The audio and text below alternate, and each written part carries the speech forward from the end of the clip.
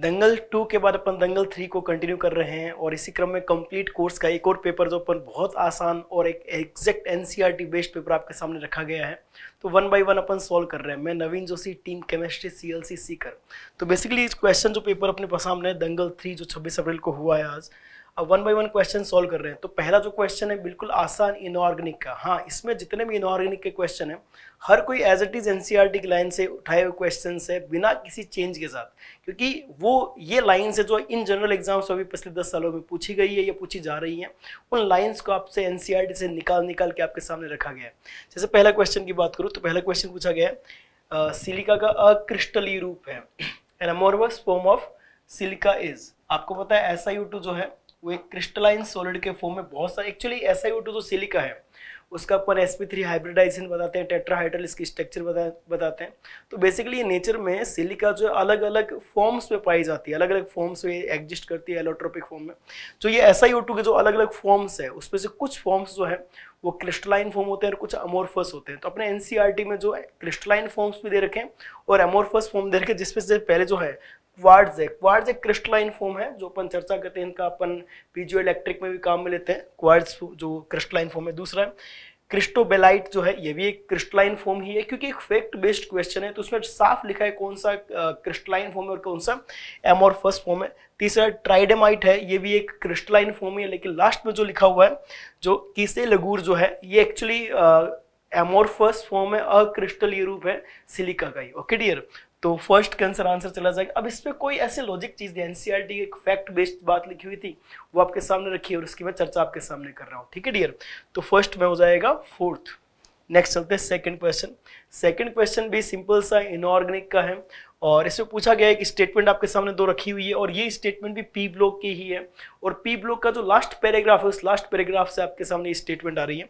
पहली स्टेटमेंट है if aluminium atoms replace few atoms in three-dimensional network of silicon dioxide overall structure known as aluminosilicate actually aluminosilicate या zeolite जो है आप heading actual जो NCERT में देखिए जियोलाइट है जियोलाइट में पहली लाइन जो है, जियोलाइट को एक अलग टर्म में एक्सप्लेन किया गया है कि कुछ सिलिकन एटम्स को यदि एल्यूमिनियम से रिप्लेस कर दिया जाए तो उससे जो नया फॉर्म बनता है, उसको अपन जियोलाइट बोलते हैं। हालाँकि जियोलाइट भी कई अलग अलग टाइप के होते हैं, लेकिन उन जियोलाइट को बनाया कैसे था? कुछ सिलिकन एटम्स को किससे रिप्लेस कर दिया जाए? एल्यूमिनियम आयन से एल्यूमिनियम प्लस थ्री से।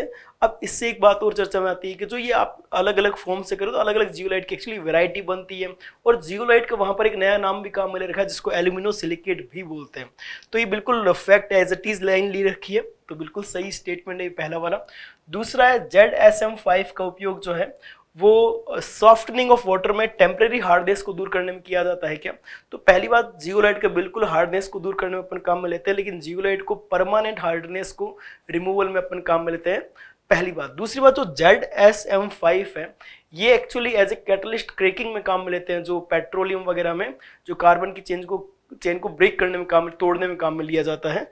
तो ये उसमें काम में आता है। और ये क्वेश्चन अभी पिछले साल ही पूछा हुआ था। तो जेड एस एम फाइव को काम में ले रखा था। तो ये स्टेटमेंट जो है सेकंड वाला इनकरेक्ट हो गया। क्योंकि ये इसको यहाँ पर काम में, और ये जो स्टेटमेंट है बेसिकली सरफेस केमिस्ट्री में काम में था एनसीआरटी में। सेफ़ सिलेक्टिव कैटलिस्ट के अंदर जियोलाइट को भी दे रखा है। ओके डियर तो ये सेकंड स्टेटमेंट एक तो टेम्परेरी लिखा है, वो गलत है, और दूसरा जेड एम एस फाइव नहीं काम है, उसमें सिर्फ़ जियोलाइट लिखा है temporary hard disk okay dear तो इसमें ये गलत और फ़र्स्ट वाला सही स्टेटमेंट तो पहला सत्य, दूसरा गलत तो इसमें आंसर चला जाएगा फ़र्स्ट तो सेकंड का करेक्ट आंसर जाता है फ़र्स्ट वाला. नेक्स्ट अपन चलते हैं थर्ड क्वेश्चन की तरफ़. थर्ड क्वेश्चन एनवायरमेंटल केमिस्ट्री का बड़ा ही बेसिक क्वेश्चन है, और इस क्वेश्चन में चीज़ें क्या रखी है? देखो एनवायरमेंटल में बहुत सारी चीज़ें मेमोरी बेस्ड आपके दिमाग में रहनी चाहिए तो ये जो क्वेश्चन रखा है, ये मेमोरी बेस्ड और फैक्ट बेस्ड है, क्योंकि कुछ स्टैंडर्ड सेट किए हुए हैं जो पानी आपके पीने के लायक है या नहीं, इसमें कुछ स्टैंडर्ड सेट कर रखे हैं कि आयरन इतना होना चाहिए कॉपर इतना होना चाहिए लेड इतना होना चाहिए पीपीएम में दे रखी है कुछ और कुछ पीपीबी में दे रखी है जिनकी बहुत कम अमाउंट होना चाहिए। तो जो कॉपर है, उसका वहाँ पर उस टेबल में कॉपर जो आयन है, उसकी कंसनट्रेशन जो थ्री पीपीएम अपने लिए स्टैंडर्ड होता है, इतना इसमें कंसनट्रेशन चाहिए होता है ड्रिंकिंग वाटर में। तो ये एक फैक्ट बेस्ड क्वेश्चन थर्ड का आंसर आ जाएगा सेकंड मेमोरी बेस्ड क्वेश्चन ये फैक्ट बेस्ड क्वेश्चन देने ज़रूरी थे, क्योंकि 2020 में एन का जो मेंस का एग्ज़ाम उसमें इस टाइप के क्वेश्चन आया करते थे, और एनवायरमेंटल के इस तरह के फैक्ट बेस्ड क्वेश्चन काफ़ी आ रहे हैं आजकल। तो इसलिए क्वेश्चन आपके सामने रखा गया है। नेक्स्ट है फोर्थ क्वेश्चन फोर्थ बड़ा सिंपल सा पीरियोडिक टेबल का क्वेश्चन है, और पीरियोडिक टेबल में जनरली इन अपन बात करें पीरियोडिक प्रॉपर्टीज़ के क्वेश्चन आपके सामने आते हैं। जैसे पहला इसने बोला है कि कौन सा प्रॉपर्टी के अकॉर्डिंग इनकरेक्ट मैच है प्रॉपर्टी के अकॉर्डिंग गलत मैचिंग में प्रेजेंट है। जैसे पहली बात करूँ कि इनका साइज़ का तो नाइट्रोजन फैमिली है टॉप टू बॉटम जाते हैं तो साइज़ इंक्रीज होता है तो यहाँ पर टॉप टू बॉटम वाला ही सीक्वेंस दे रखा है साइज़ इंक्रीज है। तो ये सही हो गया स्टेटमेंट कोई दिक्कत लेकिन अपने को सेलेक्ट गलत स्टेटमेंट करना है। सेकंड स्टेटमेंट आयनीकरण ऊर्जा जो आयोनाइजेशन एनर्जी है, उसका ऑर्डर दे रखा है। अपने को पता है फिफ्टीन ग्रुप के अंदर या नाइट्रोजन के अंदर क्या होता है? हाफ़ फिल्ड स्टेबल कॉन्फ़िगरेशन होता है। इस वजह से क्या आयोनाइजेशन एनर्जी ऑक्सीजन से ज़्यादा आ जाती है। ओके डियर बस ये इतना सा अच्छा केस है एक्सेप्शनल केस है। और कार्बन की कम होती है तो बिल्कुल करेक्ट ऑर्डर है। तो इस पर भी कोई दिक्कत नहीं है करेक्ट ऑर्डर आ गया हम। नेक्स्ट थर्ड पे चलते हैं। थर्टीन ग्रुप एलिमेंट में अपन बात करें टॉप टू बॉटम जाने पर साइज़ में इंक्रीमेंट तो आता है, आकार में वृद्धित होती है, लेकिन एक जगह अपने को एक्सेप्शनल केस भी देखने को मिलता है, जो गेलियम और एल्यूमिनियम है वहाँ पर, जिसका मेन कारण क्या होता है? ट्रांजिशन कॉन्ट्रेक्शन संक्रमण, संकुचन, उसका मुख्य कारण होता है। तो जिसमें साइज़ का ऑर्डर उसमें एल्यूमिनियम और गेलियम में थोड़ा सा स्वैपिंग हो जाती है चेंज हो जाता है। गेलियम यहाँ आ जाना चाहिए और एल्यूमिनियम यहाँ आ जाना चाहिए। तो उसके अलावा इसमें मतलब गलती है और कोई दिक्कत नहीं है तो ये जो साइज़ का ऑर्डर इनकरेक्ट हो गया तो फोर्थ के अंदर आंसर आ जाएगा अपना थर्ड ओके डियर चलो नेक्स्ट चलते हैं. फिफ्थ क्वेश्चन फिफ्थ क्वेश्चन बोला है कि I C L five and I C L four minus के लिए सही कथन है, और ये जो स्टेटमेंट्स दे रखी है, आप देखो, इसमें स्ट्रक्चर की जनरली चर्चा कर रखी है तो वो स्ट्रक्चर ही देख लेते हैं इनकी क्या आती है, पहले हाइब्रिडाइजेशन देख लेते हैं. अब आई सी एल फाइव जो है आई सी एल फाइव है तो आयोडीन है, इसके संयोजी कोष में वैलेंस सेल में सात इलेक्ट्रॉन हो गए। ठीक है, ये क्लोरीन ये क्लोरीन ये क्लोरीन ये क्लोरीन आपकी अपनी अपनी ट्रिक है जिससे आप काम करते हो। तो इसमें स्टेरिक नंबर जब अपन कैलकुलेट करेंगे, त्रिविम संख्या जिसको बोलते हैं। इसमें क्या हो जाएगा? चार तो पाँच तो आगे सिग्मा बॉन्ड प्लस एक क्या आ जाएगा? लोन पेयर तो स्टेरिक नंबर छः आ जाएगा। और छः स्टेरिक नंबर पे अपन हाइब्रिडाइजेशन क्या बताते हैं? S p three d two s p three d two में कौन सा केस बन गया? जिसमें चार, पाँच तो है बॉन्ड पेयर एक है लोन पेयर तो अपने को पता है ऑक्टाहाइड्रल जो ज्योमेट्री बनती है, उसमें सी तो आ जाएँगे पाँच जगहों पर, ये पाँच जगहों पर सी एल आगे, एक जगह आ जाएगा लोन पेयर और एक ये छठी जगह, ये पाँचों जगह पर। अब इसका जो शेप है अपन क्या बोलेंगे? स्क्वायर पिरामिड टाइप का बन चुका है तो ये शेप कैसा बन जाता है? स्क्वायर पिरामिडल तो आई सी एल फाइव तो स्क्वायर पिरामिडल हो जाएगा। ठीक है I C L four minus की बात करते हैं I C L four minus तो इसमें ट्रिक से एक, दो, तीन, चार, पाँच छः सात और एक सी एल माइनस की तरफ़ से बॉन्ड बनाए तो सी एल माइनस को अलग लिख देते हैं और एक सी एल दो सी एल और तीन सी एल ये हो गए चार सी एल जिसमें से तीन तो सी एल एक सी एल माइनस है। एक लोन पेयर और एक और लोन पेयर तो ये सिचुएशन में चार तो सिग्मा बॉन्ड है, दो लोन पेयर है। तो इसमें से स्टेरिक नंबर अपन देखेंगे, वो आ जाएगा चार प्लस दो, इसमें भी छः आ जाएगा और s p three d two hybridisation आ जाएगा छः स्टेरिक नंबर पर। और छह स्टेरिक नंबर पर यदि दो लोन पेयर और चार बॉन्ड पेयर होते हैं तो उस सिचुएशन में स्क्वायर प्लेनर टाइप की स्ट्रक्चर बनती है, वर्गीय समतल। क्योंकि ये सेम जो है ट्री इसी तरह का इलेक्ट्रॉनिक अरेंजमेंट बनता है बेसिकली जहाँ पर केवल इस सामने वाली ऑपोजिट सामने एक लोन पेयर और आ जाएगा। तो स्क्वायर प्लेनर टाइप की स्ट्रक्चर बन जाएगी। तो आई फाइव जो है वो स्क्वायर पिरामिडल है और ये स्क्वायर प्लेनर है। तो फिफ्थ के अंदर आंसर चला जाएगा। Fourth, normal structure based question है। और आप देखो, चाहे पी ब्लॉक है, चाहे आप बात करो बॉन्डिंग है, यहाँ से स्ट्रक्चर बेस्ड क्वेश्चन आजकल बहुत आ रहे हैं। इसलिए आपके सामने क्वेश्चन रखा गया नेक्स्ट अपन बात कर रहे हैं सिक्स क्वेश्चन की। कौन सा एन में जो सेंट्रल एटम है, वो s p three d two hybrid है? देखो हाइब्रिडाइजेशन बेस्ड स्ट्रक्चर बेस्ड चाहे बॉन्डिंग मानो, चाहे पी ब्लॉक मानो क्वेश्चन बहुत आ रहे हैं, इसलिए आपके सामने रखे गए हैं। आई एफ़ सिक्स माइनस है तो आई अब आयोडीन में आई एफ़ सिक्स माइनस है ना तो आयोडीन में आपको पता है एक, दो, तीन, चार, पाँच छः सात, एक एफ़ माइनस आ जाएगा। और बचे हुए पाँच एफ़ एक एफ़ दो एफ़ तीन एफ़ चार एफ़ और पाँच, हो गया टोटल छः तो इसमें एक, दो, तीन, चार, पाँच छः छः तो हो जाएँगे सिग्मा और एक और लोन पेयर तो इसमें स्टेरिक नंबर आ जाएगा सात तो s p three d three आ जाएगा। अपने को s p three d two के बारे में बात की है। हालाँकि अभी थोड़ी देर पहले I C L four minus अपन ने देखा ही था, उसमें s p three d two ही आया था। एक, दो, तीन, चार, पाँच छः सात और एक सी एल माइनस का आ जाएगा तो बच्चे कितने? चार सी एल तो इसमें यही बैठेगा। तीन तो चार तो हो गए सिग्मा बॉन्ड दो हो गए लोन पे स्टेरिक नंबर छः s p three d two hybridisation आ जाएगा। चाहो तो बीच वाला ऑप्शन भी चेक कर लो। तो फिफ्थ सिक्स में आ जाएगा थर्ड वाला। ओके डियर नेक्स्ट चलते हैं सेवंथ क्वेश्चन पे। सेवंथ बोला है कि ये जो कौन सा प्रति चुंबकीय और उसकी बंद लंबाई सबसे कम है। मतलब इतना सा पूछा है कौन डायमैग्नेटिक है, किसकी बॉन्ड लेंथ कम है मतलब बॉन्ड ऑर्डर हाईएस्ट है। तो आप सबको है, इस पर अपन लोग ट्रिक लिखा करते हैं कि जिसमें 14 इलेक्ट्रॉन होते हैं, उसका बॉन्ड ऑर्डर थ्री आता है। उससे और ऊपर जाओगे और नीचे जाओगे तो बॉन्ड ऑर्डर पॉइंट फाइव से डिक्रीज होने लग जाता है। तो जैसे थर्टीन हो गया, या ट्वेल्व हो गया इलेवन हो गया टेन हो गया, इधर आओ फिफ्टीन हो गया सिक्सटीन हो गया, सेवनटीन हो गया, एटीन हो गया। पॉइंट फाइव से आप बॉन्ड ऑर्डर कम करते रहो। ये ट्रिक आपको सब टीचर्स इन जनरल लिखवाते ही हैं तो यहाँ पर टू पॉइंट फाइव यहाँ पर टू हो जाएगा। यहाँ पर वन पॉइंट फाइव या वन हो जाएगा। फिर ऊपर जा रहे हैं टू पॉइंट फाइव हो जाएगा टू हो जाएगा। 1.5 हो जाएगा और 1 हो जाएगा। जैसे जैसे ऊपर और नीचे बढ़ते रहते हैं, उसमें 0.5 से बॉन्ड ऑर्डर कम होता रहता है, ठीक है? तो मैं इनमें इलेक्ट्रॉन्स के नंबर ले देता हूँ क्योंकि नंबर ऑफ़ इलेक्ट्रॉन से अपन जस्टिफाई करते हैं। C2 में होते हैं टोटल कितने इलेक्ट्रॉन 12 दो और आगे कितने हो गए? 14 14 इलेक्ट्रॉन N2 में टोटल 14 होते हैं, दो और आगे। तो कितने हो जाएँगे? 16 इलेक्ट्रॉन O2 में 16 होते हैं, दो और आगे तो 18 इलेक्ट्रॉन और O2 में 16 इलेक्ट्रॉन होते ही है, ये 16 इलेक्ट्रॉन तो 16 पर 14 पर बॉन्ड ऑर्डर 3 आ गया। इस पे बॉन्ड ऑर्डर 16 पे कितना बैठ रहा है? टू आ जाएगा 18 में कितना आ रहा है? वन आ रहा है 16 में कितना आ रहा है? टू बॉन्ड ऑर्डर सबसे ज़्यादा इसी का है। तो बॉन्ड ऑर्डर सबसे ज़्यादा इसी का है, इसका मतलब बॉन्ड लेंथ सबसे कम आएगी तो इसमें तो और कोई पॉसिबिलिटी देखने की ज़रूरत नहीं है। तो एक तो ये अपने बॉन्ड ऑर्डर सबसे ज़्यादा बॉन्ड लेंथ अब डायमैग्नेटिक है कि नहीं चेक कर लेते हैं। तो मुझे कैसे याद रहता है? आठ से लेकर बीस के अंदर, जो बीच में, इसके बीच में, एक तो बारह वाला, एक चौदह वाला, एक अट्ठारह वाला। ये तीन होते हैं डायामैग्नेटिक इनमें सारे के सारे इलेक्ट्रॉन पेड होते हैं और सारे होते हैं पैरामैग्नेटिक ये तीन होते हैं प्रति चुंबकीय और सारे होते हैं अनुचुंबकीय। तो मैं चेक कर लेता हूँ कि इनमें से तो नहीं है, क्योंकि मेरे को याद इसी तरह से रहता है। तो 14 इलेक्ट्रॉनिक स्पीसीज 14 इसके अंदर ही डायामैग्नेटिक है तो ये डायामैग्नेटिक भी है और बॉन्ड ऑर्डर सबसे ज़्यादा बॉन्ड लेंथ सबसे कम भी आ जाएगी। तो अपना आंसर बैठेगा फ़र्स्ट वाला तो सेवंथ में आ गया फ़र्स्ट नेक्स्ट चलते हैं एट्थ की तरफ़। एट्थ बोल रहा है स्टेटमेंट टाइप का देखो, आपके सामने स्टेटमेंट टाइप के क्वेश्चन ज़्यादा रखे जा रहे हैं। इस टाइप के क्वेश्चन आप देखो, पिछली बार कितने आए थे? कम से कम छह क्वेश्चन तो केमिस्ट्री में थे बायो में तो बहुत सारे थे। तो इसी वजह से आपके सामने इस तरह के हमने क्वेश्चन रखे, ताकि इसकी भी प्रैक्टिस आपकी यही हो जाए। और इनमें एज इट इज़ एनसीआरटी की लाइन्स रखी आपके सामने, आप चेक करोगे तो पता चलेगा। ये बोल रहा है कि leaching is a purification method यही गलत हो गई बात। Leaching is a concentration method या केमिकल अपन बोलते हैं कि दो तरह के कंसेंट्रेशन मेथड्स काम, एक तो फ़िज़िकल एंड केमिकल दो तरह के अपन सांद्रण विधियाँ काम लेते हैं। भौतिक, एक रासायनिक। रासायनिक का ये उदाहरण है। तो स्टेटमेंट पहले आधे में पता चल गया गलत है।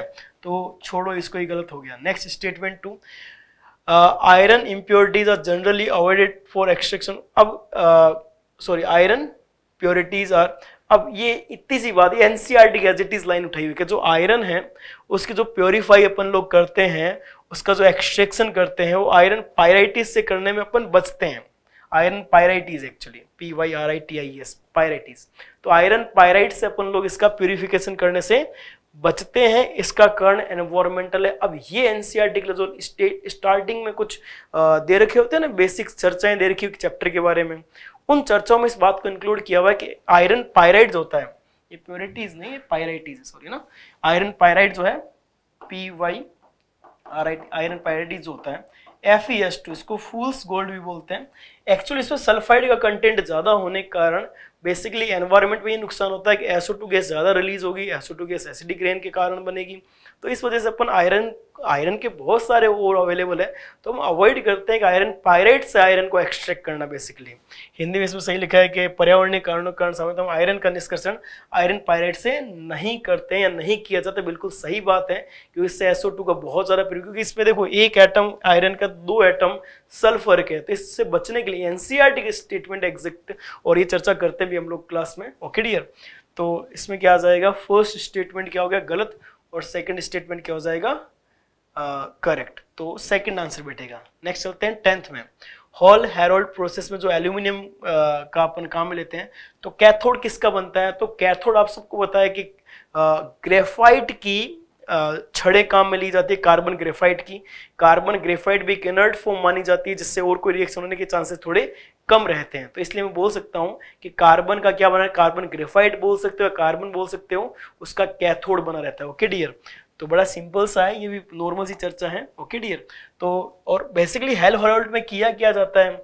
एल्यूमिनियम को रिड्यूस किया जाता है ये एक मेथड है, जिसमें इलेक्ट्रिसिटी या इलेक्ट्रोलाइटिक रिडक्शन बोल सकते हैं, विद्युत अपघटनी अपचयन किया जाता है, और इस अपचयन के दौरान अपन एल्यूमिनियम की रोड्स काम में नहीं लेते हैं कार्बन ग्रेफाइट की रोड काम में लेते हैं, और कार्बन ग्रेफाइट इनर्टनेस रखता है अपनी, इस वजह से मेनली इसको काम में लेते हैं ओके डियर चलो तो इसमें आ जाएगा fourth hello students myself Rajendra Verma team chemistry मैं आपके साथ आज आपके दंगल थर्ड में ऑर्गेनिक केमिस्ट्री के क्वेश्चंस जो आज के पेपर में रहे हैं, उनको डिस्कस करने जा रहा हूँ। करें शुरू बेटा। आपके पास क्वेश्चन नंबर इलेवेंथ है the anion H C double negative in the anion H C double negative two carbon oxygen bonds are found to be equal length. What is the reason for it? आपके पास जो format ion है, इस format ion में दोनों carbon oxygen bond length equal रहती हैं। इसके पीछे रीजन क्या है? इसके पीछे रीजन रहता है बेटा इस तरह का रेजोनेंस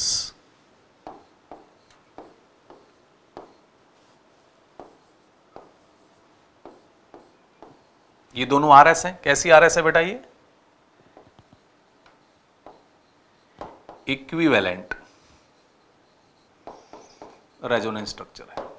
इक्विवेलेंट रेजोनेंस स्ट्रक्चर बनने से क्या होगा?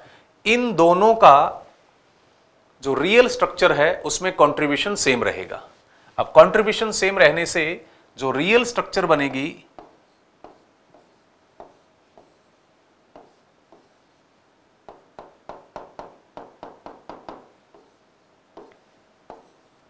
वो इस तरह की बनेगी। तो दोनों कार्बन ऑक्सीजन बॉन्ड लेंथ आपको क्या मिलेगी? यहाँ पर सेम मिलेगी। तो ये आपको इसका रीजन बताना है। तो रीजन आपके पास क्या है? टू इक्विवेलेंट रेजोनेंस स्ट्रक्चर देखें आप, कौन सा ऑप्शन आपके लिए इसमें सही लग रहा है? कार्बन परमाणुओं के इलेक्ट्रॉनिक कक्षक संकृत होते हैं। Electronic orbitals of carbon atom are hybridised ये आंसर नहीं है। The C double bond O bond is weaker than C single bond O ये भी इसका आंसर नहीं है। H C W negative has two equivalent resonating structures तो इसका करेक्ट आंसर क्या आएगा बेटा? थर्ड आ जाएगा। ये भी इसका आंसर नहीं रहेगा। बात समझ में आ रही है? फॉर्मेट आयन में दोनों carbon oxygen bond length similar होती हैं इक्वल लेंथ की होती हैं। उसके पीछे रीजन क्या है? ये दोनों इक्विवेलेंट रेजोनेंस स्ट्रक्चर इसलिए जो रियल स्ट्रक्चर बनेगी, उसमें दोनों का कंट्रीब्यूशन सेम रहेगा। ठीक? आगे चले बेटा, आंसर क्या आ गया आपके, इसके अंदर? Third question number twelfth which of the following is incorrect order of dissociation constant आपको चार ऑप्शन दिए हैं और डिसोसिएशन कांस्टेंट आपसे पूछा है। अपने को अच्छे से पता है कि एसिडिक स्ट्रेंथ और डिसोसिएशन कांस्टेंट दोनों एक दूसरे के डायरेक्टली प्रोपोर्शनल है। डिसोसिएशन कांस्टेंट इंक्रीज होगा तो एसिडिक स्ट्रेंथ ऑटोमेटिक इंक्रीज हो जाएगी। या कहें एसिडिक स्ट्रेंथ इंक्रीज हो रही है तो डिसोसिएशन कांस्टेंट ऑटोमेटिक इंक्रीज हो जाएगा। तो फ़र्स्ट ऑप्शन की बात करें एल्काइन फिर एल्कीन लास्ट में एल्केन है। तो एल्केन एल्कीन और एल्काइन में से एल्केन लीस्ट एसिडिक होता है और टर्मिनल एल्काइन मोस्ट एसिडिक होता है। ठीक है, ये बात तो सही है। ये टर्मिनल एल्काइन है और यहाँ पर ये भी एक टर्मिनल एल्काइन आपको दी गई है बेटा। इस टर्मिनल एल्काइन में ये CH3 कौन सा इफ़ेक्ट शो कर रहा है? प्लस आई जो इसकी एसिडिक स्ट्रेंथ को क्या कर देगा? कम कर देगा।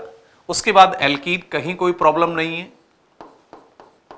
और लास्ट में एल्कीन तो ये इनकी एसिडिक स्ट्रेंथ का भी ऑर्डर है डिक्रीजिंग ऑर्डर है और इनके के ए का भी डिक्रीजिंग ऑर्डर है। आपसे पूछा है इनकरेक्ट ठीक है? गलत पूछा है आपसे। तो ये तो करेक्ट है। तो ये आंसर नहीं आ सकता क्योंकि ये तो ऑर्डर करेक्ट दिया हुआ है। ठीक है?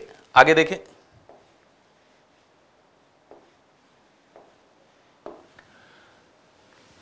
ये आंसर नहीं आएगा। सेकंड की बात करें। Methyl alcohol ethyl alcohol two degree alcohol, three degree alcohol. तो आप देखते हैं कि यहाँ पर क्या हो रहा है? प्लस आई इफ़ेक्ट इंक्रीज हो रहा है। और प्लस आई इफ़ेक्ट इंक्रीज होगा तो एसिडिक स्ट्रेंथ क्या हो जाएगी बेटा? डिक्रीज हो जाएगी।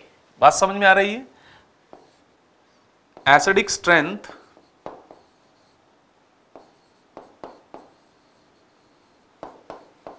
directly proportional minus I के रहता है और इनवर्सली रहता है प्लस आई इफ़ेक्ट के।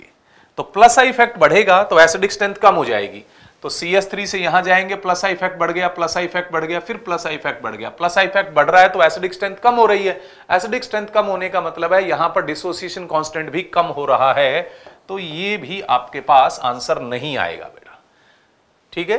तो ये करेक्ट है, ये भी ऑर्डर करेक्ट है। आपको क्या चेक करना है बेटा जी? इनकरेक्ट चेक करना है। इस फ़र्स्ट और सेकंड करेक्ट है, इसलिए आंसर नहीं है।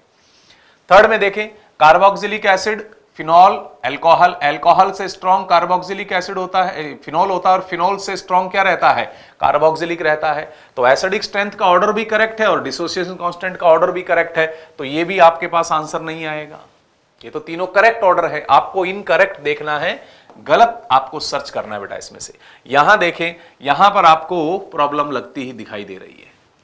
ये फिनॉल है ये तो आपके पास पिक्रिक एसिड है, पिक्रिक एसिड स्ट्रॉन्ग एसिड है। यहाँ पर प्रॉब्लम है। फिनॉल के रिस्पेक्ट कार्बोक्सिलिक एसिड कैसा होगा? स्ट्रॉन्ग एसिड होगा। स्ट्रॉन्ग एसिड होगा तो इसका डिसोसिएशन कांस्टेंट ज़्यादा होना चाहिए और यहाँ डिसोसिएशन कांस्टेंट आपको क्या दिया हुआ है? कम दिया हुआ है। तो इसका मतलब यहाँ पर ऑर्डर गलत हो गया। तो इसका आंसर क्या आ जाएगा बेटा आपके पास? फोर्थ आंसर आ जाएगा। ठीक? नेक्स्ट थर्टीन आपको यहाँ पर एक कंपाउंड दिया है normal hexane.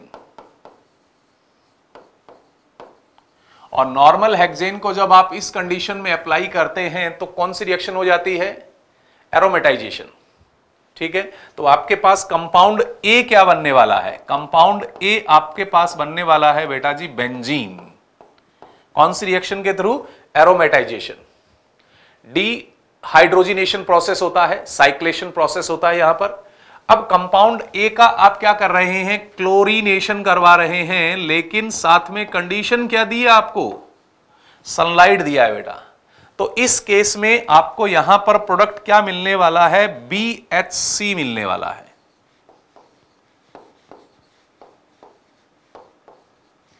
B H C benzene hexachloride तो आपका आंसर क्या आ गया बेटा? थर्ड आ गया। आपको क्या चेक करना था? Find out correct structure of B तो बी आपके पास थर्ड आ जाएगा। बी की सही संरचना आपको पहचाननी थी। तो आंसर क्या रहेगा बेटा आपके पास? थर्ड रहेगा। पॉइंट समझ में आया? पहला प्रोसेस जो है, वो एरोमेटाइजेशन है, जो आपको क्या बना के देगा? बेंजीन बना के देगा। बेंजीन का क्लोरिनेशन करवा रहे हैं, लेकिन सनलाइट की प्रेजेंस है तो आपको क्या प्रोडक्ट मिलेगा बेटा यहाँ पर? बेंजीन हेक्सा क्लोराइड मिलेगा। तो आंसर क्या बैठ गया इसके अंदर आपका? थर्ड ठीक? नेक्स्ट किस अभिक्रिया से 2,2 dibromopropane which of the following reaction will yield 2,2 dibromopropane? अब देखते हैं इसमें। फ़र्स्ट रिएक्शन को अगर आप कंप्लीट करेंगे तो टू ब्रोमोप्रोपेन बनेगा टू टू डाइब्रोमो नहीं बन रहा है। आंसर नहीं आएगा। सेकंड की बात करते हैं। सेकंड में मैं पहले वन मोल एच ऐड करता हूँ।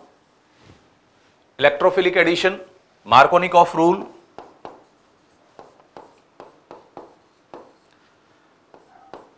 यहाँ पर ये आपके पास वन मोल हो गया। अब इसमें वन मोल और ऐड करना आपको बेटा। वन मोल एचबीआर आप इसमें और ऐड करेंगे। अगेन मार्कोनिक ऑफ़ रूल आप इसमें अप्लाई कर पाएँगे।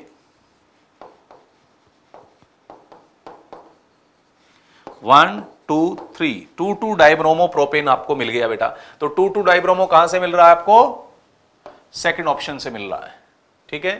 थर्ड नहीं होगा आंसर में। थर्ड क्यों नहीं होगा? थर्ड में क्या मिलेगा आपको?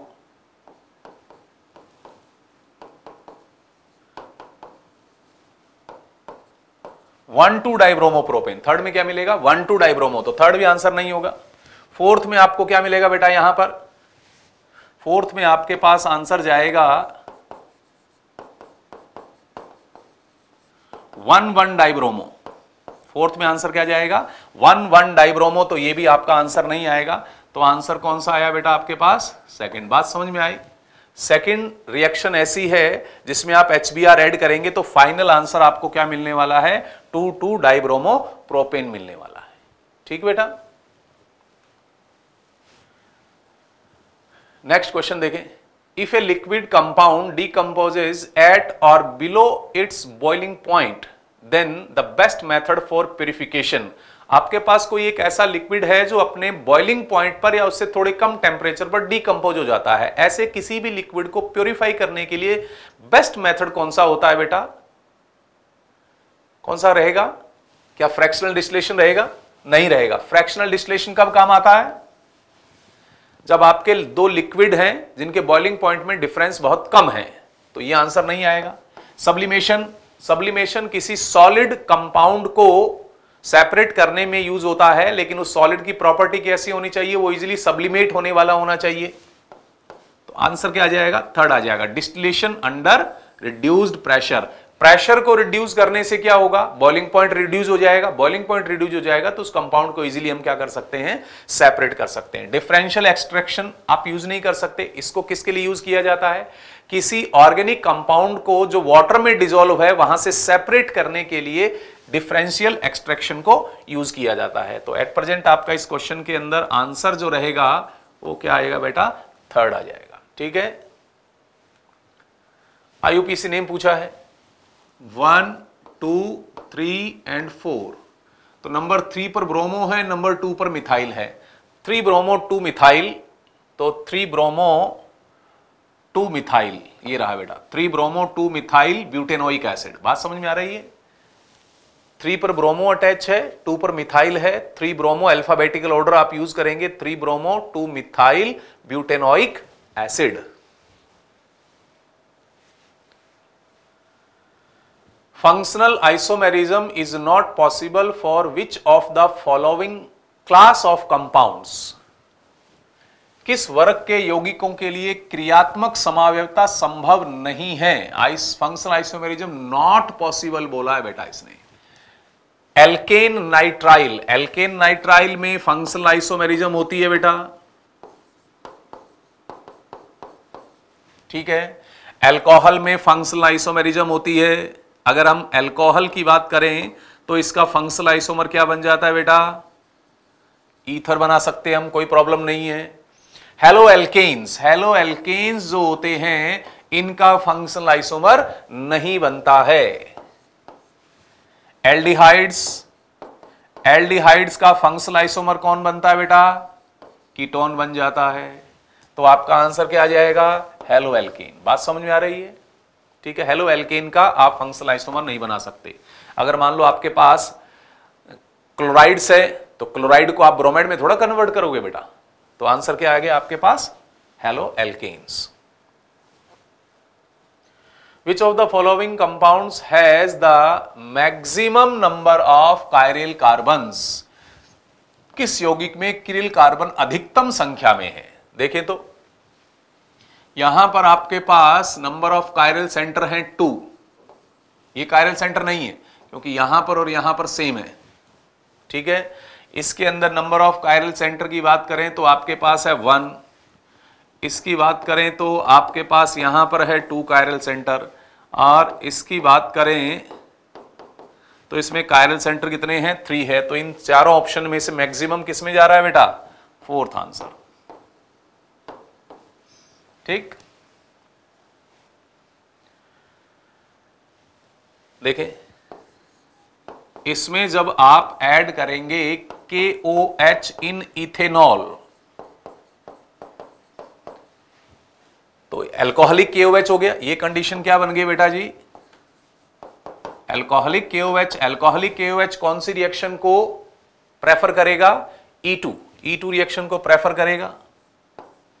ठीक है? तो ये आपके पास कंपाउंड X बन गया। इसमें क्या करना है? HBr की रिएक्शन करवानी है। HBr से रिएक्शन करवाएँगे तो इसके अंदर इलेक्ट्रोफिलिक एडिशन होगा मार्कोनिक ऑफ़ रूल अप्लाई हो जाएगा।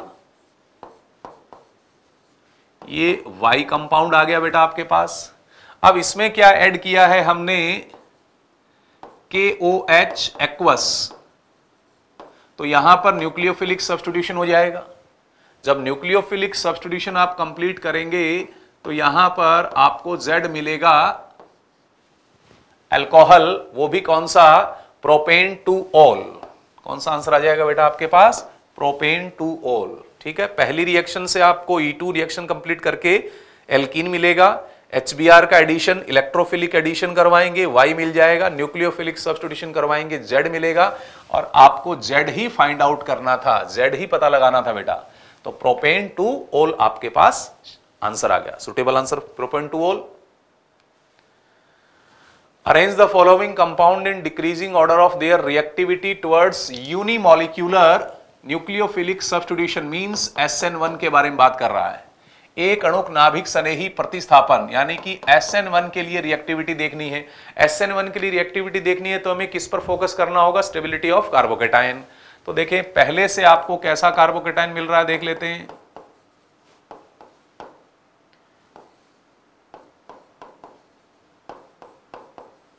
तो यहाँ पर इस सीएल को रिमूव करेंगे तो ये कार्बोकेटाइन बन जाएगा बेटा। ठीक है? आपके पास सेकंड की बात करें। सेकंड में जब सीएल को रिमूव करेंगे तो आपको सेकंड में यहाँ पर ये कार्बोकेटाइन मिल जाएगा रेजोनेंस स्टेबलाइज्ड और थर्ड की बात करें तो थर्ड में आपको ऐसा कार्बोकेटाइन मिल जाएगा। तो यहाँ पर आप देखें, इसमें तो क्या हो रहा है? रेजोनेंस प्लस हाइपर कॉन्जुगेशन इसमें. ये रहा हाइपर कॉन्जुगेशन इसमें है only hyperconjugation three plus three eight six plus two eight eight alpha hydrogen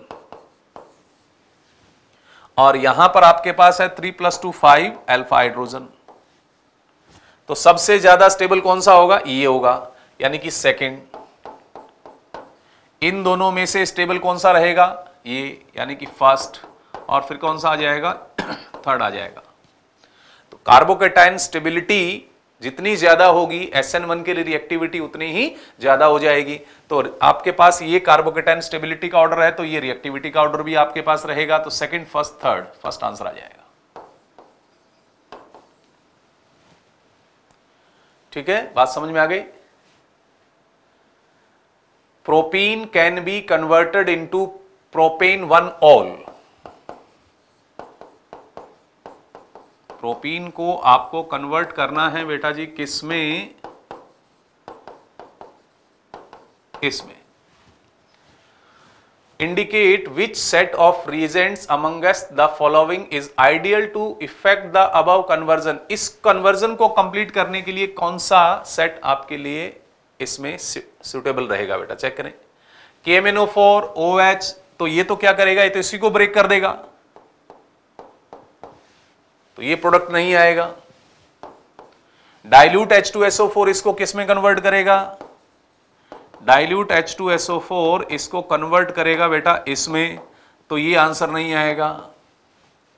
Hydroboration oxidation hydroboration oxidation is suitable answer ozonolysis भी इसको यहाँ से ब्रेक कर देगा। तो आंसर क्या जाएगा बेटा जी आपके पास? थर्ड बात समझ में आ रही है। फ़र्स्ट में क्या होगा? ये बॉन्ड ब्रेक होगा और ये दोनों कार्बन ऑक्सीडाइज हो जाएँगे फ़र्स्ट में। तो ये आंसर थोड़ा आएगा। सेकंड में ये आंसर आएगा। थर्ड से ये आंसर आ जाएगा। और फोर्थ ओजोनोलाइसिस कर रहे हैं तो ये यहाँ से ब्रेक होगा। दोनों पार्ट एल्डिहाइड में कन्वर्ट हो जाएँगे। हमें बनाना है ये। तो आंसर क्या जाएगा आपका? थर्ड जाएगा बेटा। Which of the following most suitable to prepare ethoxy benzene ठीक है, देखते हैं। ये तो यहाँ रिएक्शन नहीं होगी। ये एराइल हेलाइड है। एराइल हेलाइड में नॉर्मली रिएक्शन न्यूक्लियोफिलिक सब्सटीट्यूशन नहीं होती है। ये एज ए न्यूक्लियोफाइल इस पर अटैक करेगा और आपको यहाँ पर इथॉक्सी बेंजीन बना के देगा। बिल्कुल बन रहा है। ये यहाँ पर अटैक करेगा, लेकिन ये भी आंसर नहीं आएगा। क्यों नहीं आएगा? रीजन समझे बेटा आप इसका।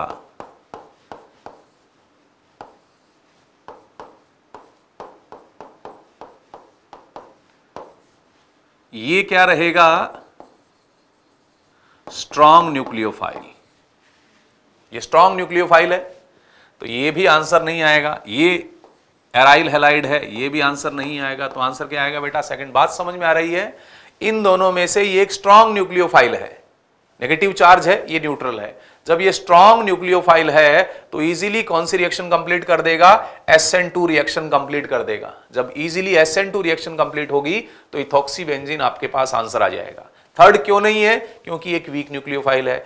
फ़र्स्ट और फोर्थ में एराइल हेलाइड है। नॉर्मल कंडीशन में aryl halide nucleophilic substitution reaction show नहीं करते हैं। ठीक है? विच Which of the following compound with molecular formula C5H10 yield acetone on ozonolysis? देखें तो बेटा, आपके पास है two methyl two butene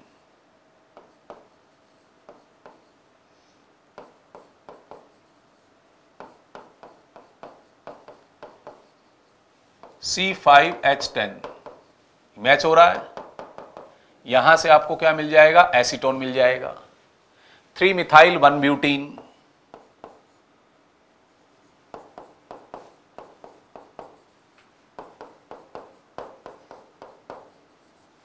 इससे एसीटोन नहीं बनेगा। ठीक है?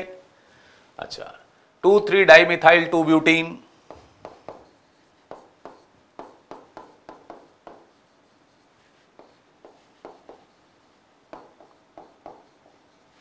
यहाँ पर आपके पास one, two, three, four, five, six, C, six, H, twelve है, जो मॉलिकुलर फॉर्मूला ही मैच नहीं कर रहा है। एसीटोन तो बन रहा है, लेकिन मॉलिकुलर फॉर्मूला भी तो मैच करना चाहिए बेटा।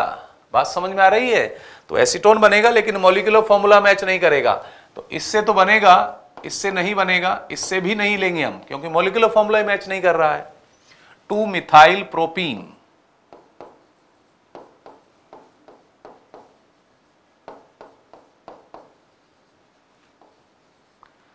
C four H eight यहाँ से एसीटोन तो बनेगा, लेकिन मॉलिकुलर फॉर्मूला मैच नहीं कर रहा है। तो ये भी हम इसके अंदर नहीं ले सकते। तो आपके पास आएगा आंसर थर्ड पॉइंट समझे बेटा? आपको क्या देखना है? ये चार कंपाउंड है। इन चार में से ऐसा कौन सा कंपाउंड है जिसका मॉलिकुलर फॉर्मूला तो C5H10 होना चाहिए? और ओजोनोलाइसिस से वो क्या बनाना चाहिए? एसीटोन बनाना चाहिए। तो ये मोलिकुलर फॉर्मूला फ़र्स्ट और सेकंड पर अप्लाई हो रहा है। थर्ड और फोर्थ पर तो अप्लाई नहीं हो रहा तो थर्ड और फोर्थ वैसे रिजेक्ट हो गए। फ़र्स्ट और सेकंड में से फ़र्स्ट तो एसीटोन बना के देगा सेकंड एसीटोन बना करके नहीं देगा। बात समझ में आ गई होगी? Above conversion can be achieve most conveniently by which of the following अच्छा ठीक है, देखें आप।